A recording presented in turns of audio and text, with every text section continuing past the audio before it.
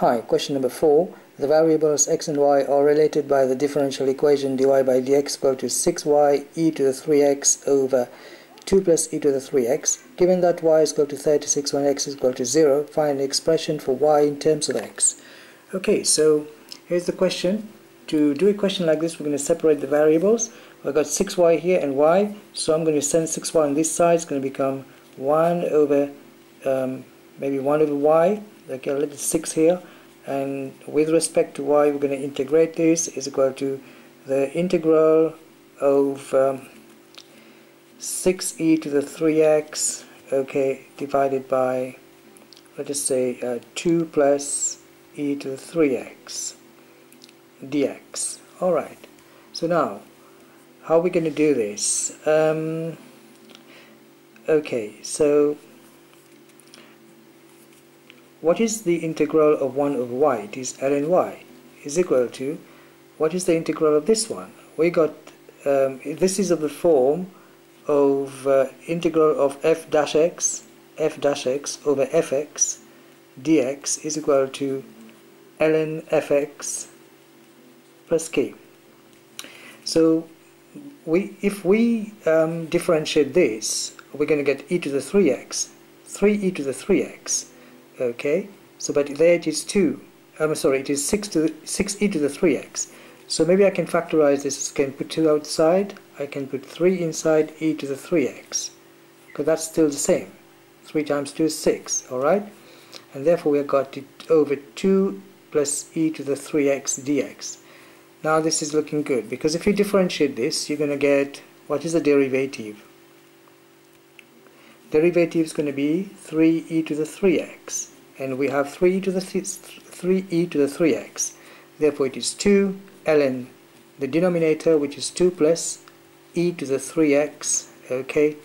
And then plus alright the constant a.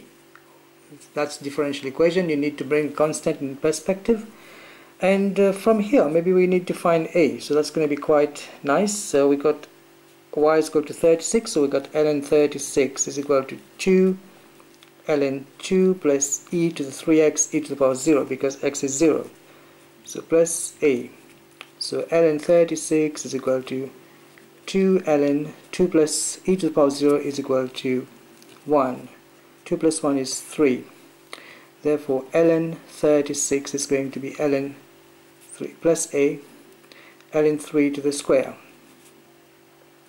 plus a so you can send this on, on the other side and that's going to become ln it's going to become ln 36 minus ln 3 to the square which is ln 9 is equal to a. And therefore a is going to be ln 36 divided by 9 the property of logarithm here is negative so we're going to take division. Therefore a is going to be ln 4 now what is our equation anyway okay our equation is here. So we have ln y is equal to 2 ln 2 plus e to the 3x okay plus a and so plus ln 4 right so we need to express uh, y in terms of x. Alright so to do this we're gonna um, so ln y is equal to ln 2 plus e to the 3x the 2 can go as the power and you got plus so you're going to multiply because when you got addition you multiply for logarithmic property uh, if you get addition you take the product of it. Therefore ln y is equal to 4 times um, sorry it's going to be ln 4 times 2 plus e to the 3x all to the square so we're saying then that y is equal to 4 okay, into 2 plus e to the 3x to the square. So this is the answer. And the question is taken from June 2014 Advanced Level Maths HSC Paper 3.